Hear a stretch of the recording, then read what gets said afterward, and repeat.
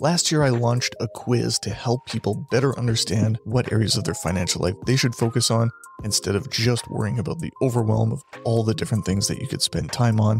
And so it's called the Find Your Focus quiz.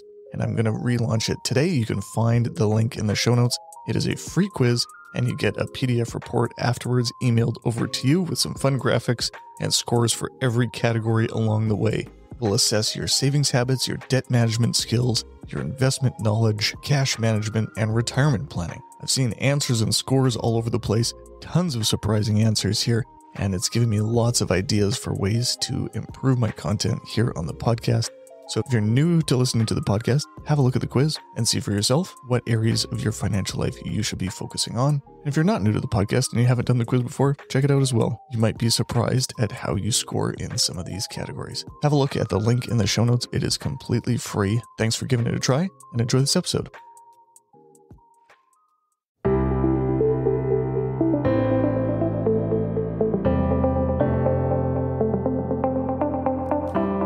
Hello and welcome back to the Canadian Money Roadmap Podcast. I'm your host, Evan Neufeld. On today's episode, we're going to be talking about efficiency in your portfolio and why sometimes inefficiency can actually be your friend.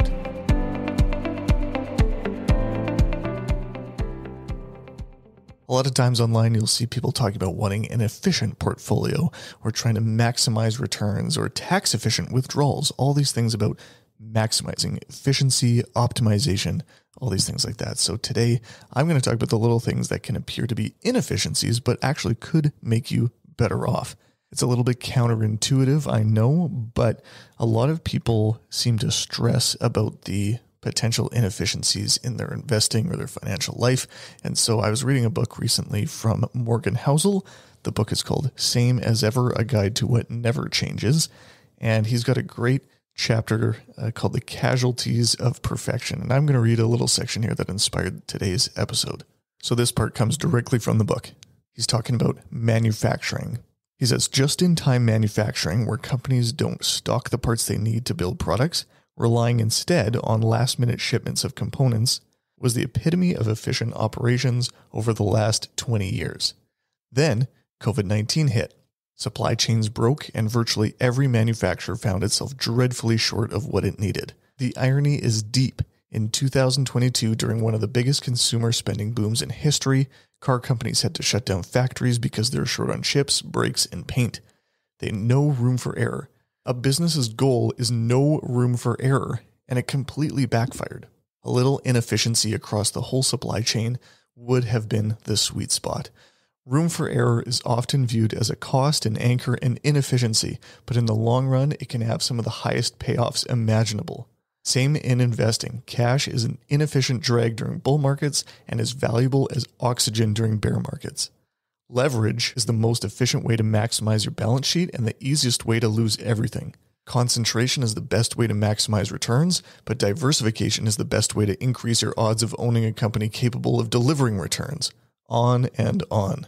All right, so that's a great little clip there, and maybe that should be the whole podcast because that kind of covers off uh, the bulk of it. But I was going to go into a few more specifics here about how it relates to you as an investor and some things that you probably don't need to waste a whole lot of time on necessarily. So, first thing to understand is that no one exists as a spreadsheet, anyways.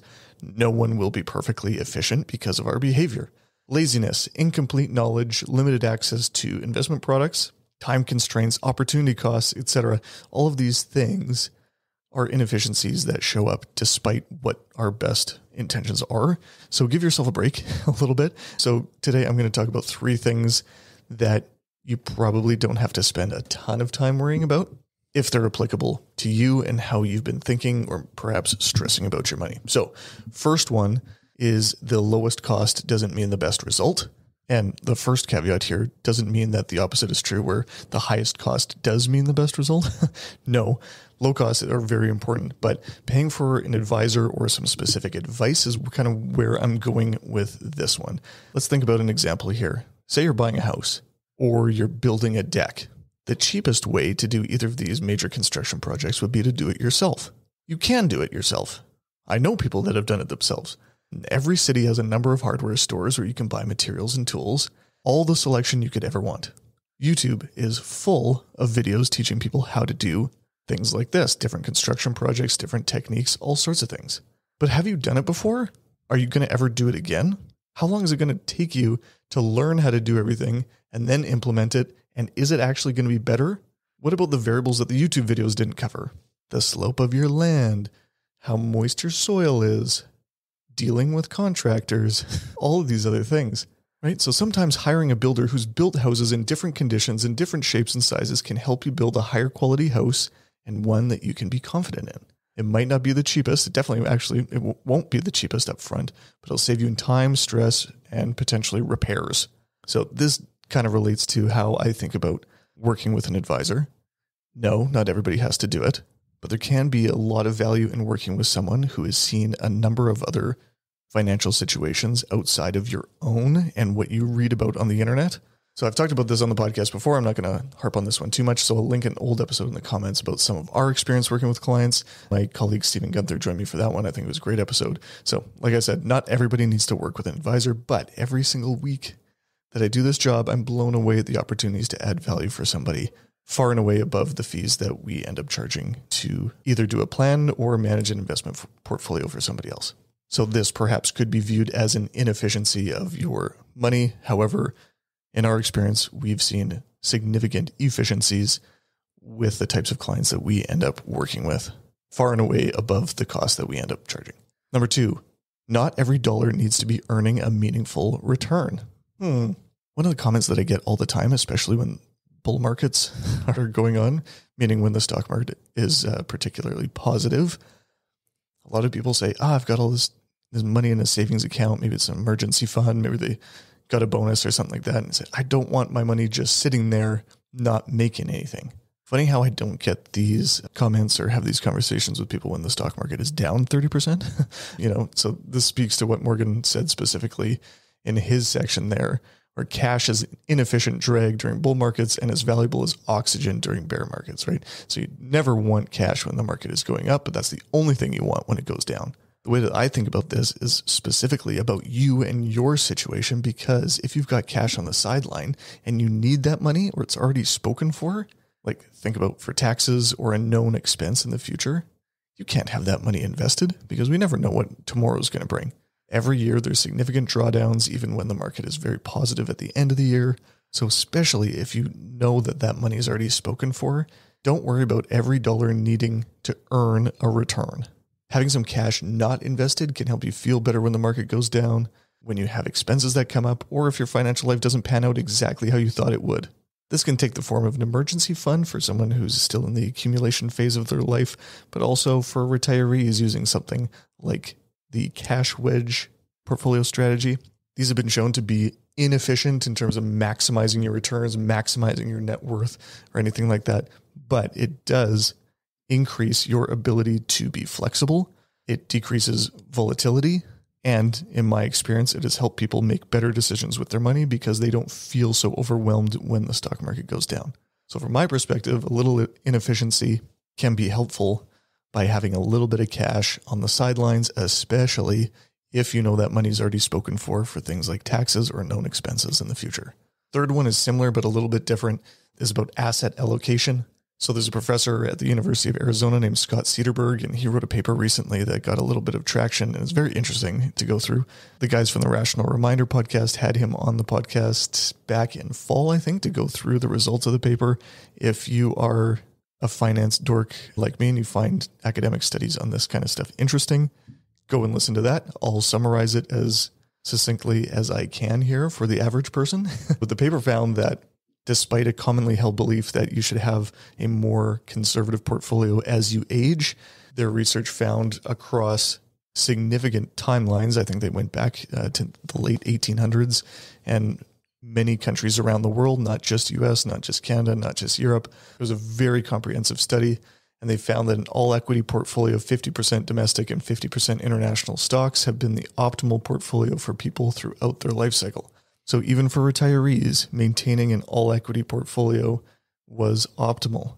However, this is just in a academic study and not with real people.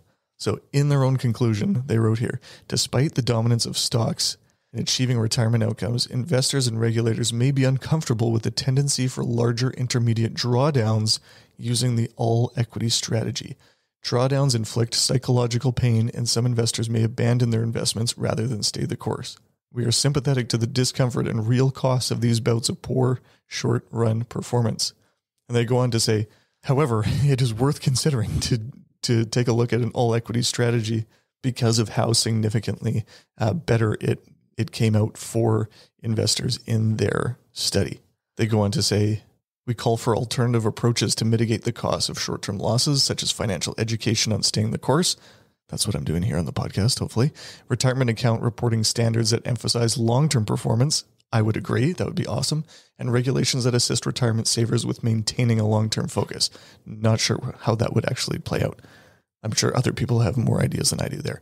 But even though the research shows that having all stocks in your portfolio in a specific blend of domestic and international, that can be optimal for maximizing wealth and maximizing spending having some bonds in your portfolio can decrease that short term volatility.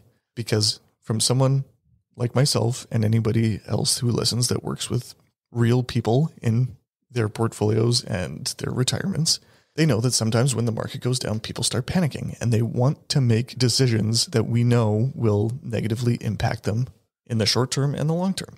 So having bonds in your portfolio, I often describe it as like the airbag on your portfolio more often than not, bonds act as a opportunity to decrease volatility compared to stocks alone. So if the stock market is down 20% and your portfolio that includes some bonds is down 15%, that might help you feel a little bit better and keep you from panicking. My perspective, panic selling is worse than a lower average return because bonds typically don't increase your expected returns. They'll decrease your returns, but it decreases your volatility as well. Panic selling can often guarantee your losses because you're selling after it's already gone down. So if you're someone who has made bad decisions like selling long-term assets when the stock market is down, you need to be honest with yourself and decide whether a stock only portfolio is actually appropriate for you. This is why we can't just blanketly say, okay, this is optimal. This is what everybody should have. No, because we're people and we're not spreadsheets we're not robots. And some people can't handle it. Also, some people don't want to make the pile bigger. I often put people in, in two camps. If they have enough money to sustain their spending throughout the, the rest of their natural life, if they have additional money from there, say from an inheritance, sold their house, whatever, now you have a decision to make. Should you invest that money or should you spend it, give it away, whatever you want to do? And so people fall on the two ends of the spectrum where they say, okay, well, I don't need to make more money. I don't need to have more money. So why wouldn't I take some risk and see how much I could make from it? It's not going to blow me up if it goes completely sideways. Let's give it a try. And the other people say, well, I don't need to make more money. So why would I bother taking any risk? Very few people exist in the middle of that spectrum in that in that situation where they they are confident in their financial plan enough to know that they don't need more return. And so these people, I, I, find that most of the clients that I work with, anyways, they're in the camp of, well, if I don't need it, I prefer not to take any more risk than I really have to. So these are the people that don't feel they need to make the pile bigger. Optimization through asset allocation often leads to making piles bigger. And to me, that isn't a goal that is meaningfully worth pursuing just as a rule. I believe to set your asset allocation based on taking as much risk as necessary to achieve your goals is more of a, a prudent approach. But you know, these people that don't really want to make the pile bigger just for the sake of making the pile bigger is they've made all they need and they have the luxury of maintaining a more conservative asset allocation. And that is fine. It's inefficient from every definition, but it's fine you don't have to. You can do whatever you want. If you're someone that doesn't have any sort of savings discipline, you've got a pile of debt, you haven't built a portfolio large enough, being a conservative investor in that case will probably leave you a little bit short. So, for the sake of feeling good and not taking more risk than you want to, a bit of inefficiency is okay in my books. Not every investor is an optimizer, and that's okay. So, that's my little rant on that. If you want to be an all equity investor and you can actually stomach it, and that's something that you want to prioritize, totally fine. If you're someone that gets nervous about the volatility in your portfolio and you don't actually want to take on any more risk, especially in your elderly years, great. If that works with your financial plan, don't worry about it. so th- this is a challenge, right? So this optimization or total efficiency focus is, is a challenge for us as financial planners because there's the technical knowledge of the job and we know all the tactics that you can use to create optimal results for people. But more often than not, these optimizations come at the cost of something else. If something related to your money is going to stress you out or create fear in your life, you need to evaluate, perhaps with the assistance of a professional, whether you could add a little room for a bit of inefficiency in your life in the terms of a little bit of cash on hand, maybe paying for an advisor, maybe adding a little bit of bonds or something else to your asset allocation that takes the edge off a bit. So perhaps you could add a little uh, inefficiency in your life that could end up being the best type of efficiency for you. Everything is situational, everything is unique to you as an individual. There's cookie cutter knowledge out there that's, you know, there's good rules of thumb to know. But when it's all said and done, your situation is unique to you, and the priorities that you have for your financial life will govern how you invest, how you spend, and how you give to the next generation or to the charities of your choice. So let me know what you think of this episode. Shoot me an email over at hello at evanneufeld.com. I'd love to hear from you. If you've listened to the podcast for a while, I'd love to get a review on Apple Podcasts. I haven't got one of those in a while, but I have many kind reviews on there already. Leaving a review helps other people know that this podcast is worth listening. So if you believe it is, then let people know by leaving me a review on Apple Podcast. There's a rating system on Spotify and a few other apps as well. Those are always welcome and very much appreciated. Thank you so much for listening to this episode, and we'll catch you next week.